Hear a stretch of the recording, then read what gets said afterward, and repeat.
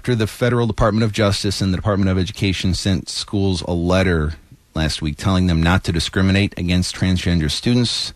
So, uh, they said that meant letting them use the bathroom consistent with their gender identity. This is something that a few Republicans sort of alluded to. Republican Congressman Glenn Grothman was one who really talked about it the most. Here's Congressman Glenn Grothman. Joe Biden, the Vice President of the United States, and somebody, and someone who some people think the Democrats should have run for president as the more moderate candidate, says that the civil rights struggle of our time is transgender rights. Their pre- presumptive nominee, Hillary Clinton, remember there was a show MASH a while ago in which some, you know, one of the comedy guys was wearing a dress.